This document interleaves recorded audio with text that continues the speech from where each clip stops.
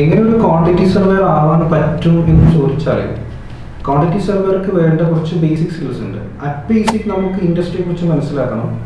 ഇൻഡസ്ട്രിയിൽ നമ്മുടെ പൊസിഷൻ എവിടെയാണെന്ന് മനസ്സിലാക്കണം.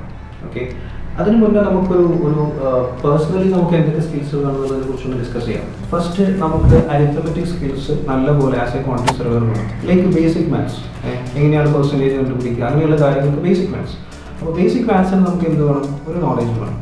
To as a quantity surveyor and secondly നമുക്ക് വിഷ്വൽ ഇന്റലിജൻസ് വേണം. അതായത് നമുക്ക് ഡ്രോയിങ്സിനെ റീഡ് ചെയ്യാൻ നമുക്ക് അറിയണം കോംപ്ലക്സ് ആയിട്ടുള്ള ഡ്രോയിങ്സ് ആണ് ചിലപ്പോൾ നമ്മൾ മൾട്ടി സ്റ്റോറി പ്രൊജക്റ്റിലൊക്കെയാണ് വർക്ക് ചെയ്യുന്നതെങ്കിൽ നമുക്ക് ഡ്രോയിങ്സിനെ എങ്ങനെ റീഡ് ചെയ്യണം?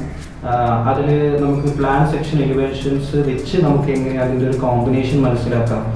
ഇത് വെച്ച് നമുക്ക് എങ്ങനെ വിഷ്വലി ഇതിനെ ത്രീ ഡി ആക്കി നമുക്ക് ചിന്തിച്ചത് മനസ്സിലാക്കണം. ഓക്കെ സോ ആ ഒരു സ്കില്ല് നമുക്ക് വേണം. അതായത് നമുക്ക് ഡ്രോയിങ്സിന് വിഷ്വൽ ഇന്റലിജൻസ് വേണം ആൻഡ് നെക്സ്റ്റ് നമുക്ക് പറയുകയാണെങ്കിൽ നമുക്ക് ടെക്നിക്കൽ സ്കിൽസ് വേണം അതായത് ആസ് എ ക്വാണ്ടിറ്റി സർവേർ നമ്മൾ വർക്ക് ചെയ്യുമ്പോൾ എന്തെല്ലാം കാര്യങ്ങളാണ് ക്വാണ്ടിറ്റി സർവേർ സ്പെസിഫിക്കലി ചെയ്യുന്ന ചില ഡ്യൂട്ടീസ് ലൈക്ക് നമുക്ക് ടെൻഡറിൽ വർക്ക് ചെയ്യുന്ന ക്യൂസ് എന്തെല്ലാമാണ് ചെയ്യുന്നത്? അതുപോലെ തന്നെ പിന്നെ പറയുകയാണെങ്കിൽ നമുക്ക് സബ് കോൺട്രാക്ട് പേയ്മെന്റ് എങ്ങനെയാണ് ചെയ്യുന്നത്? അങ്ങനെയുള്ള കുറച്ച് ക്യു എസ് സ്പെസിഫിക് ആയിട്ടുള്ള കുറച്ച് ജോബ്സ് ഉണ്ട്.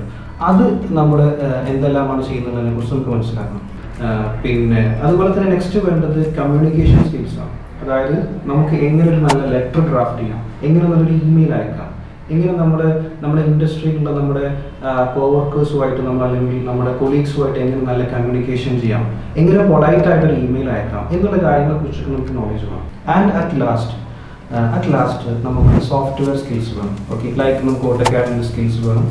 ആൻഡ് ഓൾസോ ലൈക്ക് നമുക്ക് എക്സലിലുള്ള സ്കിൽസ് വേണം. സോ ഇത്രയും കാര്യങ്ങൾ ഉണ്ട് എങ്കിൽ നമുക്കൊരു ഒരു ക്യു എസിന്റെ ജോബിന് വേണ്ടിയിട്ട് നമുക്ക് അപ്ലൈ ചെയ്യാം.